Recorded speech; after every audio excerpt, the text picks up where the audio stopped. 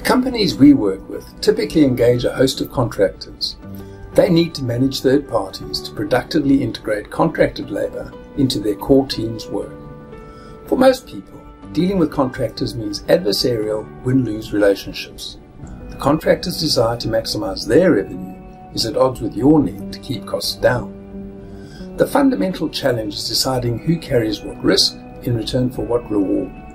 An undersupply of vital resources causes production losses, while an oversupply creates confusion, adds to work in process, and raises costs.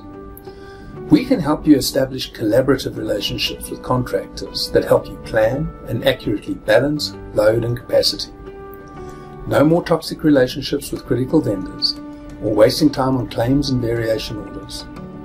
You can achieve bigger win-wins than you thought reasonable or possible by giving everyone a fair go.